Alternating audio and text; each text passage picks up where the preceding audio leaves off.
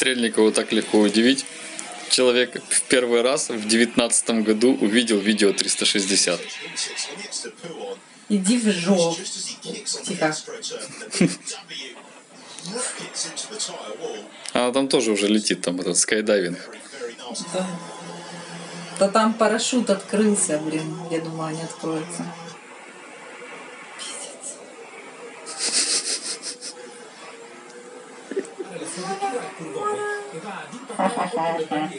Так прикольно. Тепло сегодня, градусов 10, наверное. Ну что, начинаем наш новый квест ежеутренний. Что ты нам скажешь? Пожалуйста, пристегните ремень безопасности. Ну, нихуя себе.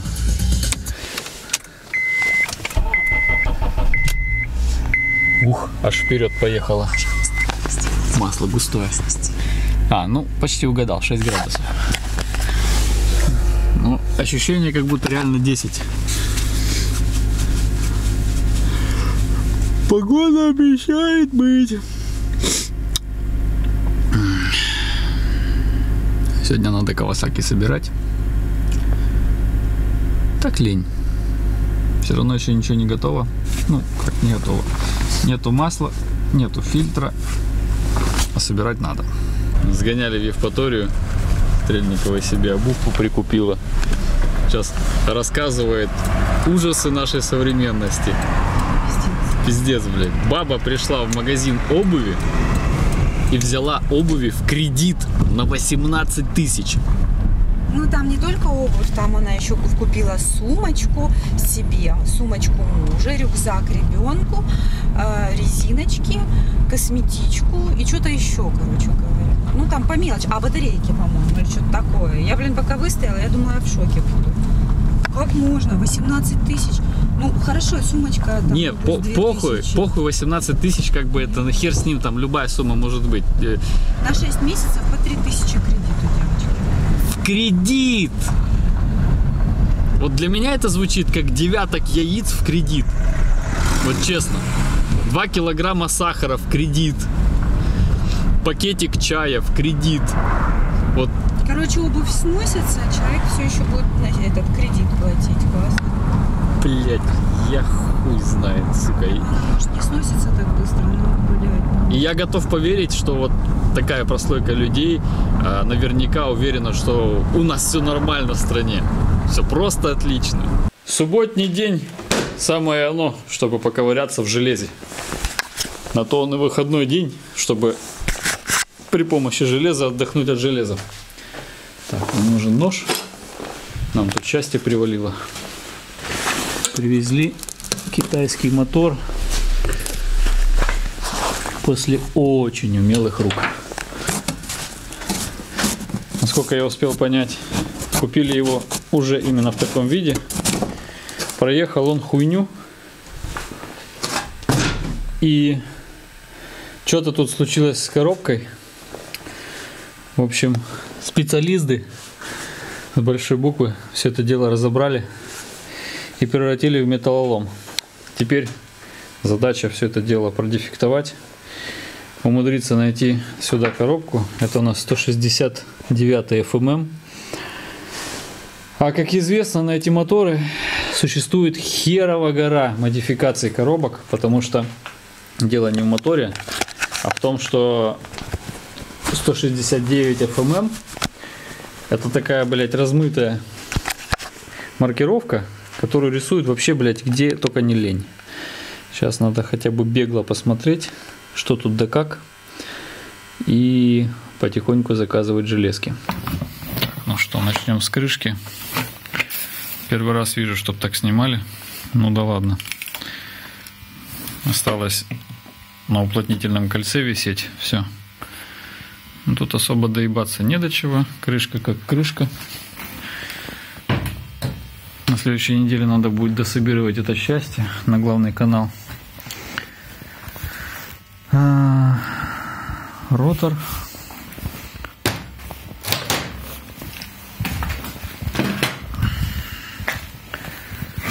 Балансирный вал.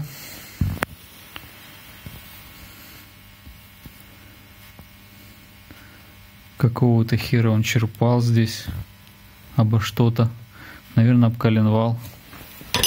Об шатун, скорее всего, если он крутится так же, как и... Да. Вот след. Вращается, скорее всего, между щек. Тут, короче, я не знаю, что делали. Эти, сука, обезьяны ебаные. Короче, вот так вот шпоночный паз разъебан.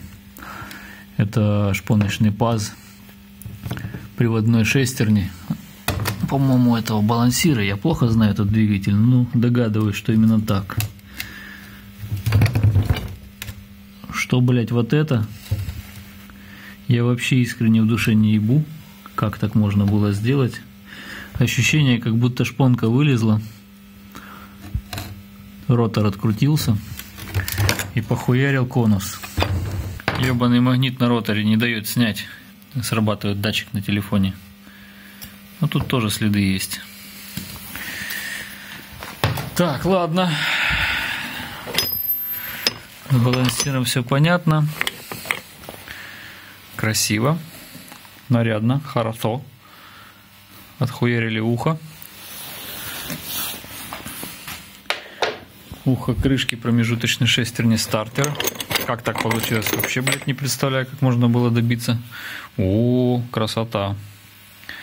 Выломан зуб. Что тут еще интересного?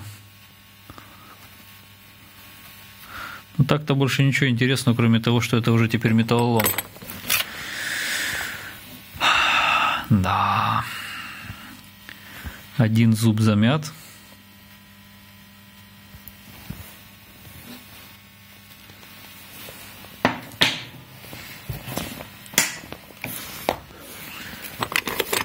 Что у нас тут с системой кикстартера? Ну, она вроде бы выжила. Кулиса. Тут вроде бы тоже все хорошо. С балансиром мы определились. Так, есть копирный вал. Уже хорошо. Копирный вал даже живой. Коробка пятиступка. Вообще, подожди. Да, наверное, пятиступка. Очень интересная хуйня. Первый раз такое вижу. Вот у нас нейтралка. Так, приводная звезда еще поездит. Вилки. Вилки, вилки. Вилки живые, эти две. Это... Это еще тоже, да, живая. А вот у нас и шестерня привода балансира. Судя по всему, очень похоже. Ну да. По модулю зубов сейчас мы это быстро определим. Вот у нас вторая шестеренка. Они обычно одинакового размера. Ну да.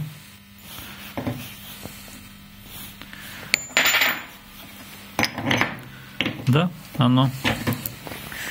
Вот ведомая шестерня. С захуяренным зубом, блядь.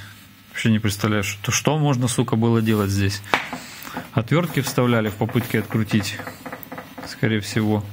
Если здесь есть такая же херня. Да, вот. След. На камеру не видать.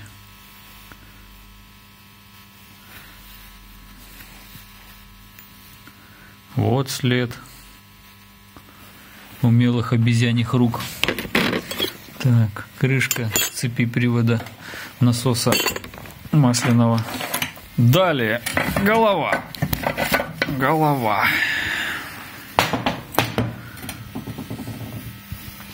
Ну, плоскость вроде ничего. Сальник, шпильки. Через этот сальник не должно попадать масло мимо. То есть по шпильке, как в большинстве кабовских моторов, идет масляная магистраль куда-то. Вопрос куда?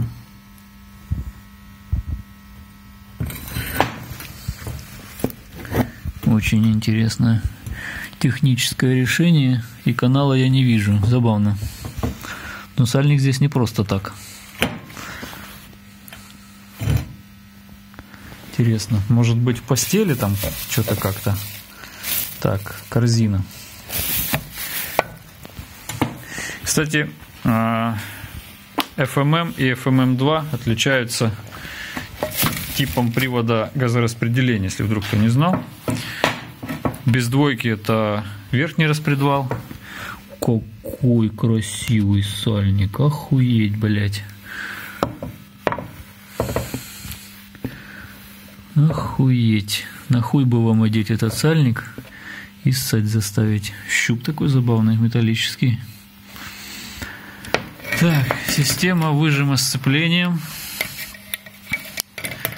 Как ты себя здесь чувствуешь? Ну, в принципе, ничего. Материал, конечно, сырец, пиздец. Прям видно, что сырец. Летет так себе. Такие артефакты в литейной форме. Все это дело отмывать придется. Ну, впрочем, как обычно, ничего удивительного. Что это? Какой-то номер телефона и автомобиля. Так. Самая главная половинка двигателя. Так, что у нас? А, понял, защита телепается. На ней у нас номер двигателя и тип. Датчик переключения передач, значит, есть индикатор передач. Здесь у нас что-то непонятное. Почему-то посадка форсунки подшипника похуяренная. Этот подшипник живой. Здесь балансир вращается впереди коленвала. Крепеж. Ну, на крепеж смотреть нехуй. Так, что у нас здесь? Здесь у нас крышка, крышка, распредвал. Так, как себя чувствует распредвал? Да, в принципе, неплохо чувствует. Противооткатный декомпрессор, как на 157 моторе. Так, крышка на роликах, как на ебучем ротоксе. Вот у нас тормоз, обгонные муфты противооткатного декомпрессора. И там по мелочам цепь, натяжитель, башмак и успокоитель. То есть, блядь, что-то я много наговорил. Цепь, натяжитель. Ну да, башмак и успокоитель, все я правильно сказал. Сцепление. Что у нас тут со сцеплением? Больше всего меня интересует вопрос по шестерням. Не дали тут и им пизды часом с квасом.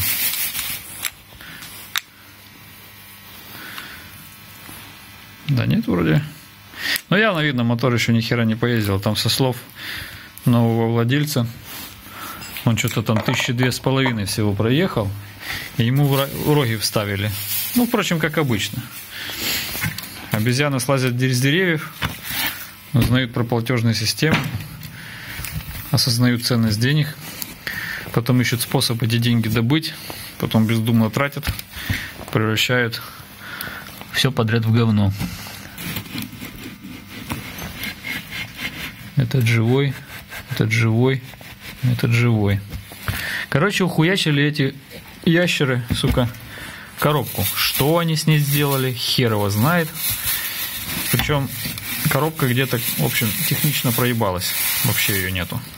И это, впрочем, основная сложность в ремонте этого мотора, потому что я чувствую, придется побегать хорошенько, по поискать коробку сюда и коленвал. Сейчас надо старафировать коленвал, отправить пацанам в Серпухов. Нахуя было снимать кольца, блядь, вообще непонятно. Наверное, для проверки. Даже маслосъемные сняли. Ну да, поршень даже чуть-чуть только закопченный. Палец с переменным сечением, прям как на спортивных мотоциклах. Охуеть не жить. Для облегчения. Столько пакетиков ни к чему, когда все в масле. общем, на этот мотор предстоит найти все барахло и собрать до кучи. Комплект прокладок, коленвал, м, балансир, куда я его положил. Прокладки. Прокладки тоже сразу мусор.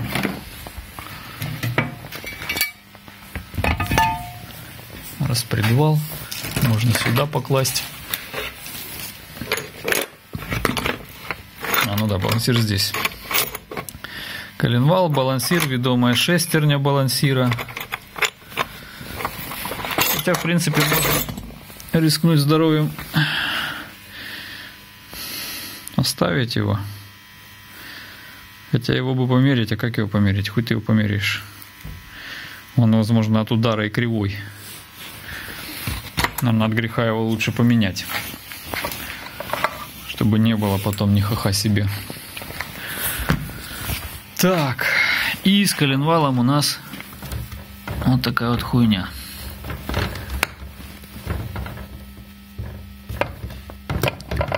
И я подозреваю, что такая хуйня случилась, видите, случилась из-за удара балансиром по нижней шейке. Вот сюда. О, Димон. С дубинами припиздил. С дубинами припиздил. А что ты их поменял? Стучали? Ну, мне этот... Андрей тогда сказал, короче, меняй-ка я бы ей поменял на оригинал. А, понятно. Ну, бросай там куда нравится, тут везде срач. В общем, в общем, в общем, в общем, вам все понятно, я думаю. Даже коты смотрят на вертушку, как на гребаное ископаемое. А когда вы последний раз вставляли диски в дисковод? У меня, например, на одном из системников вертушка стоит только для того, чтобы дырку затыкать. Ни один из проводов до нее не дотягивается. Для того, чтобы вставить диск в дисковод, ее надо оттуда вынуть и рядом положить.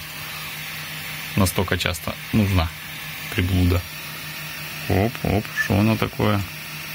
Давай лапа еще потрогай.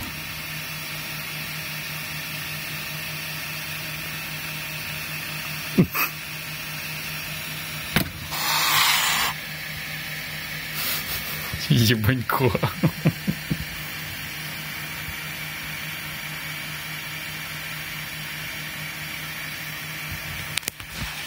Стряхнешь мне диск, я тебе лоботомию сделаю.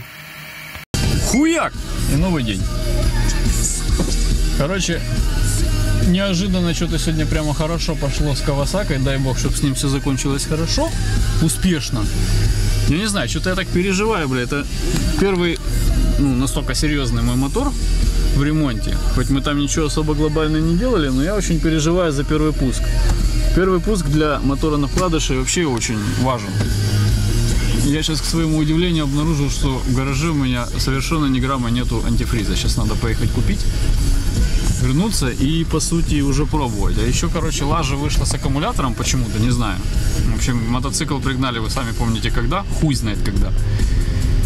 И она полежала, полежала, постояла, постояла, короче, и аккумулятор решил, короче, такой, а умру-ка я, а то хули я как лох. И умер. Хозяин говорит, что он гелевый. Попробуем его сейчас, короче, толкнуть снизу.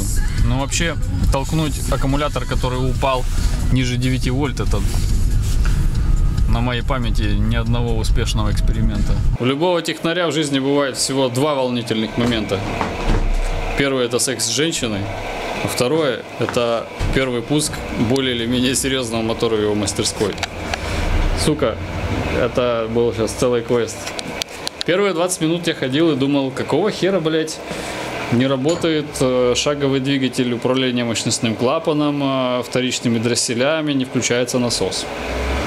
Ходил, ходил, ходил, ходил, а потом думаю, блядь, я долбоеб, это пиздец, конечно.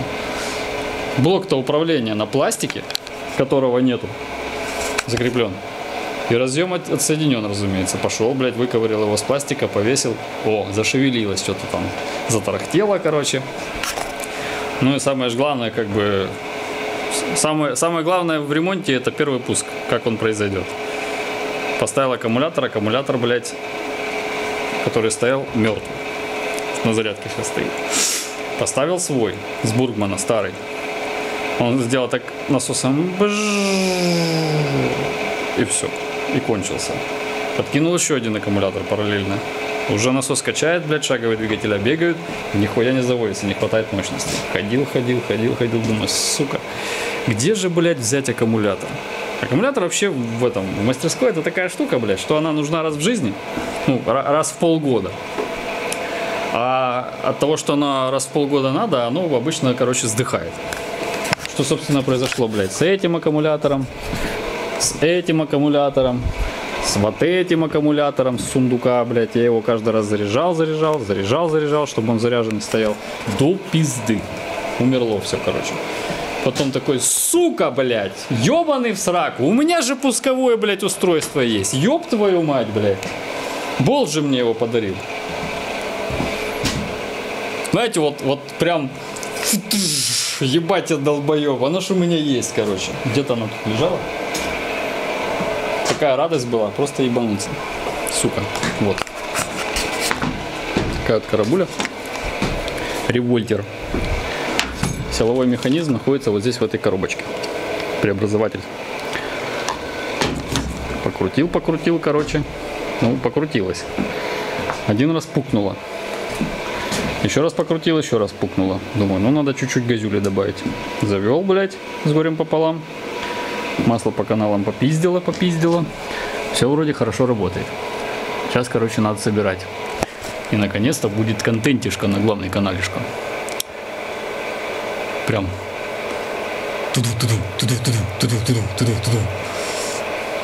Не хочется ж нихуя запороть человеку. Да и вообще, в принципе, не хочется попасть на какие-то запчасти. Я ж не такой, что, блядь, типа, да хуй его знает, блядь, под зад ногой, до свидания, деньги в карман и попиздил. У меня если какие-то лаги случаются, то приходится доставать, блядь, кровно заработанные, блядь, и устранять свои собственные бока. А этого совсем не хотелось. Но, слава богу, все работает. Услышите и увидите на главном канале. Юрчик, который нам пилу подарил, опять привез нам этот, как это, блядь, ребус, вот. Саня, он его не завел. Ну так, может, вода попала где-то, сейчас вода обсохла. Там, по-моему, бензина нет. Заебись, смотри. Да. Дергай, пока нога не пойдет. Ну, он так предположил, говорит, потому что он ехал, говорит, на кочках е- едет, а порой на дороге, говорит, начинает глохнуть. А, я думаю, этим... Нет, Сань. Там? Там. Нет, вот. А тут, да? Да. Ну, фу- фу- фуиль. Ну, я фуиль делал, а он не делает. У тебя же ключ погнутый, кто-то гнул ключ. Ну, Там, может, нажать надо? О, видишь, какой? Это ты просто очень сильный.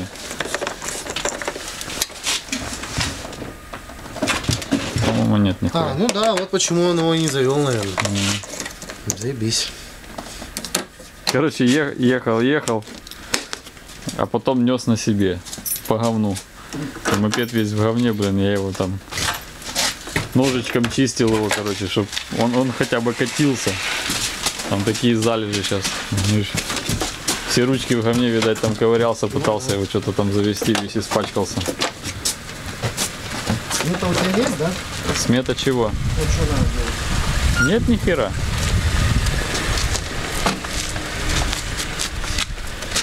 Ну, короче, тут надо с пластиком граться. А что ты будешь с ним? Вот это ты будешь паять? Не знаю, наверное, буду. Он попросил это все сделать. Ну, хорошо.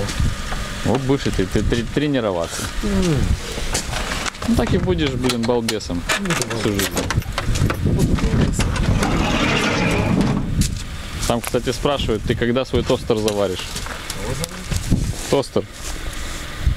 Ну вот этот белый тостер. Сука. Еду в Симферополь и просто охреневаю. Раньше мы ездили за вот этими блоками справа. Там была дорога. Причем сравнительно недавно. И сейчас вот по новой еду, короче, и там, там дороги нет вообще, как будто и вообще никогда не было. Вообще в пух и прах все разнесли. Причем с такой скоростью, что я сейчас еду и вообще просто я в ахуе. Нихера себе. Масштабы. Нихуя себе американские горки. Куда-то не туда ехали. Ням-ням-ням. Так, Как жить, тебе кормить? Оно горячее. так жить можно. Ты лук не ешь. Как это я, блядь, лук не ем? Ты что, вообще ешь охерела, что ли? Там он красный сейчас горит, я сейчас буду жрать лук. Давай. Давай, давай. М, Ну, падла, я тоже хочу.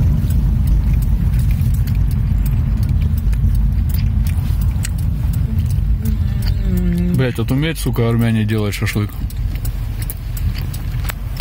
А тебе? Не вовремя уже. Ладно. Вышку, да, вышку. Ай. На. Все равно я с тобой целоваться буду. Понял?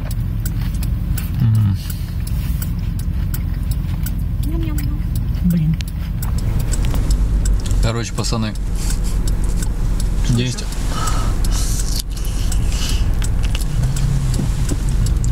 На венгерском рынке в Симферополе шашлык делают. Сука, просто охуенный. Охуительный. Или это я такой голодный? Не, ну мясо реально мягкое очень.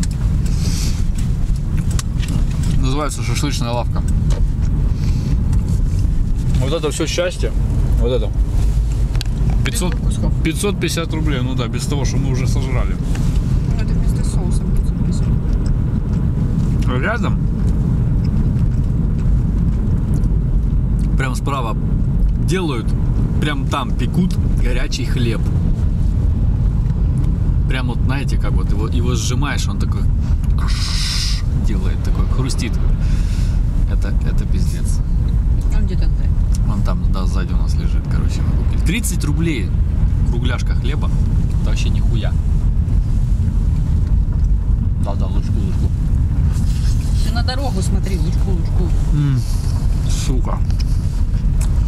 Я так согласен жить. Короче, вот смотрите, хлебушек.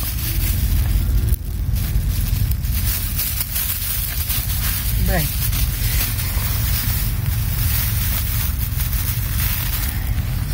Не-не, ты давай. М, Это он уже чуть-чуть подостыл, просто в машине полежал. А там вот прям вот с пылу, с жару просто. Сука, вот такая вот хуйня. Большая. 30 рублей. Это, блин, стоимость обычного магазинного хлеба. Хуяк и новый день. Сейчас надо Сашке барахлище отвезти, голду собрать.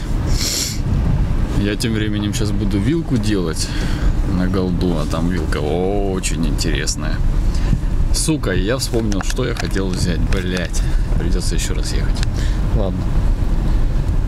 Как я уже говорил, я никогда не повторяюсь. Я просто не помню, говорил я вчера про подшипники или нет. Ну, для вас это две минуты назад, если говорил. Да, я знаю, что я не пристегнут. И очень интересная ситуация с подшипниками на голду. Там идет 32.205 и 32.206 подшипники, насколько я помню.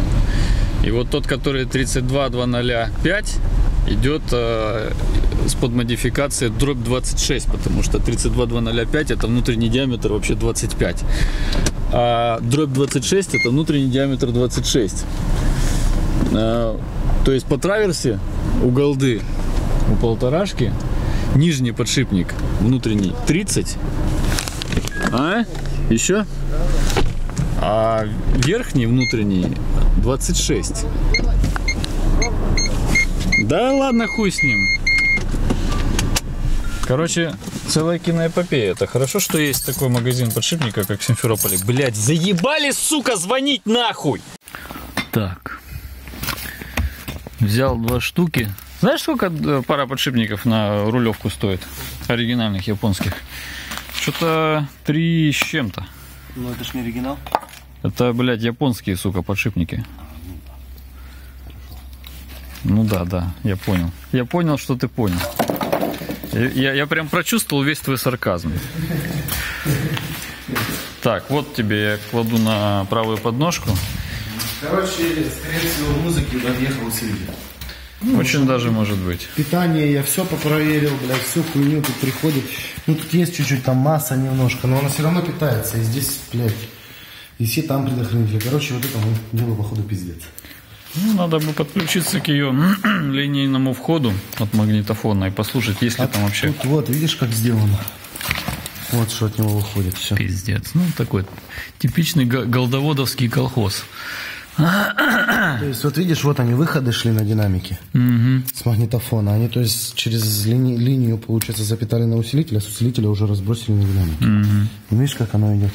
Хуяк, и вон колодки какие. Вот так, С товарищи, одного кабеля на два динамика. выглядит преимущественно каждая вторая голда, если снять, с нее снять пластик. То есть вот та, которая светится громче всех, вот у нее этот, этот пиздец просто километрами там намотан внутри. Так, сука, я запизделся и не привез тебе фомки. Один хуй мне сейчас к тебе ехать. И- взял хоть? А? Фен взял хоть? Фен, да, взял. Сука, нет, подшипник греть нижний внутреннюю обойму, чтобы не шарашить по нему молотком, а просто забросить его туда. Нижние траверсы, внутреннюю обойму нижнего подшипника. А зачем обойму греть, если у нас там само тело надо греть? Заебал внутреннюю, которая, блядь, на траверсе, которая съемниками снимал. Ну, ее для чего греть? Она расширится. Ты ее как установишь, объясни мне. Ну как, разогреть вот эту колонку саму, Какую? которая на раме. Саша, внутреннюю обойму. Херню мне говоришь? Внутреннюю обойму подшипника, Саша. Внутреннюю обойму подшипника, блядь. Подшипники две обоймы. Понял? Все, пошел в попу, понял. Слава богу, ебаный в сраку, блядь. Ты хочешь закинуть? А я тебе что, блядь, только что А я сказал? зато думаю, блядь. Сука, Ты же ты мне мозги паришь пораньше. это не я тебя парю, это они у тебя сами уже, блядь, без меня что-то барахлят с утра пораньше. Да. Ну, вот такое вот состояние перьев. Наверное, надо свет выключить, чтобы весь пиздец ощутить. Совершенно нормальное состояние перьев у голды, поскольку они все нахуй закрыты всякими кожухами. И там вот такой вот пиздец всегда, даже у чистой голды. Сейчас мы это дело отмоем. Охуенно, да, реакция идет? Сейчас это еще тоже забрызгаем. Пускай откисает. И потом займемся. С горем пополам перетрес эти два пера. С горем пополам, потому что даже опытные голдоводы сказали, что, блядь? Поскольку у нас модификация СЕ, а, то у нее там свои перья. Вообще перьев бывает 4 типа. И я когда начал э, с Вовой Федонниковым беседовать, ну он так достаточно продвинут, в голдах, э, в валькириях, ну интересуется парень. Я ему начал фотки присылать всего этого пиздеца. Он такой, а что, блядь, так можно было, что ли, нахуй? То есть тут, тут такой пиздец внутри. То есть тут вот взяли четыре вилки разных, э, разобрали, высыпали в один чан. Вот так вот поделали, поделали. Потом первые запчасти, которые в руку попадали, туда поставили.